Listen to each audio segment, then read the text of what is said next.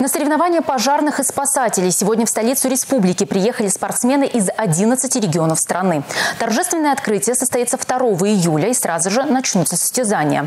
Первая дисциплина – полоса препятствий.